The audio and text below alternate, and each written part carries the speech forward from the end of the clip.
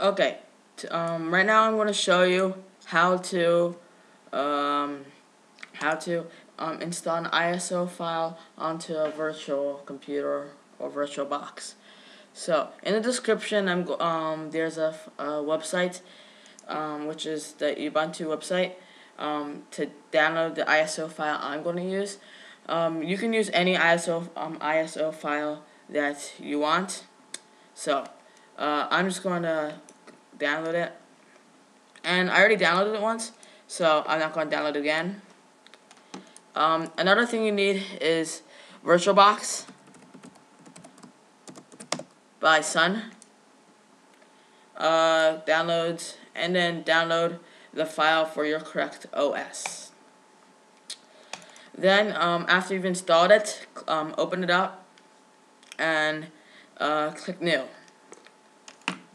Then uh, name it what you're going to uh, want the um, OS name to be. I'm going to name it uh, Linux test because Ubuntu is a form of Linux. And then uh, make sure um, you select the correct operating system. Uh, select your memory size. I'm just going to leave it 512 megabytes uh, create new hard disk and it's going to up and open the create new virtual disk wizard. Next, uh, I'm going to lower it down to uh, I'm going to lower it down to 1 gig because I don't want it to take up too much space because I'm not going to use it very often. Finish, and then finish. So now you're going to have uh, the virtual computer right here. Open it up, and it will give you an error message. Just wait. And there's the error message. Now go to uh, CD-DVD devices and click choose a virtual um, CD-DVD disk file.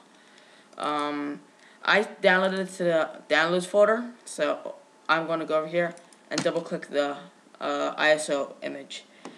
Um, your di actual disk uh, thing will pop out if you're on a laptop. And just insert it back in and close the window. Power off the machine. Then turn it back on, so this is going to be like a reboot. And it should work. And now Ubuntu is starting.